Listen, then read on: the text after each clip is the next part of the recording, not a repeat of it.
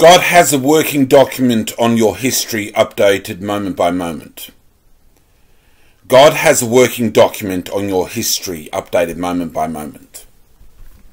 Okay.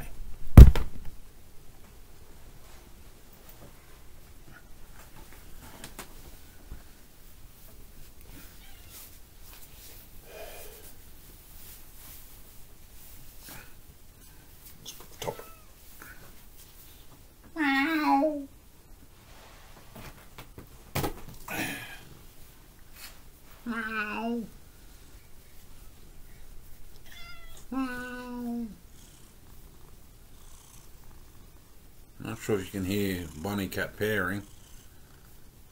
Bonnie's pairing. Probably can hear that.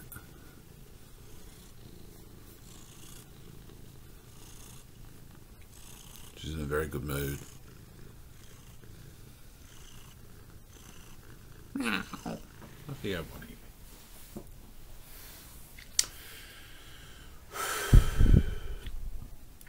God knows exactly your history. And um, from your birth, from your conception to now, He knows your history. It's all in front of Him.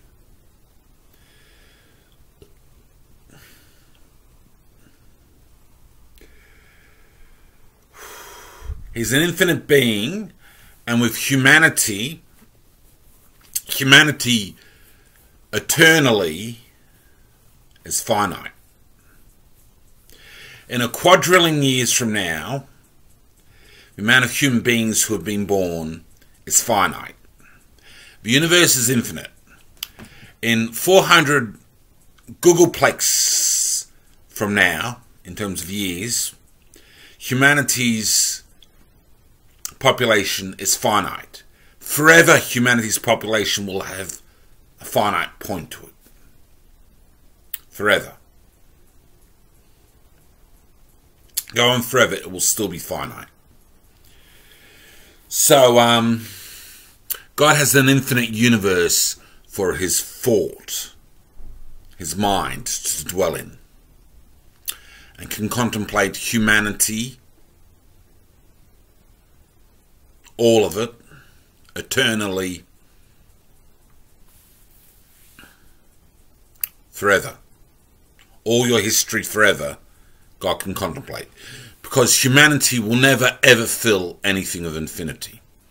Even in a Googolplexian years from now, if all humans were put together in a big planetary society, it's billions, trillions of light years across, or whatever it is.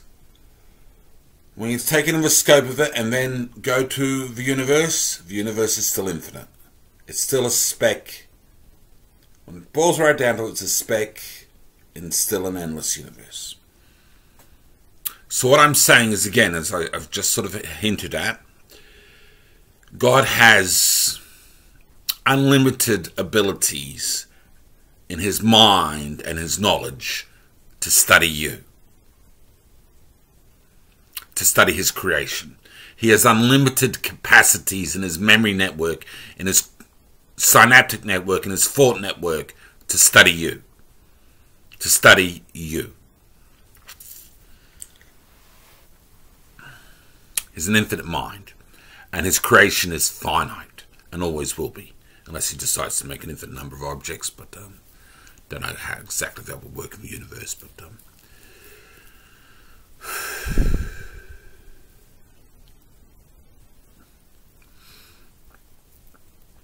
every moment he's up to date with you. I had a dream when I was younger. Had it a number of times about playing a game with a, an Egyptian sort of pharaoh figure. And I had it once a number of years later, a few years back, I have a dream again. Scored, scored a royal pussy. It was just a bit of a joke which God was having with me for how I played the game in the dream. Funny. But um, I knew right then, right then I knew God is 100% up to date with where I'm at. I see it in my dreams all the time. He knows exactly my history, exactly what I've gone through, exactly what's happening. I see it in my dreams all the time as well. He, he knows exactly all your thoughts and your deep ones too of your heart. He knows your heart's deep thoughts. He knows you. He knows you. You think you can think you're sort of not necessarily known by God or whatever. He knows you. He's analysed you to the nth ready degree. He knows you, mate. And he always will.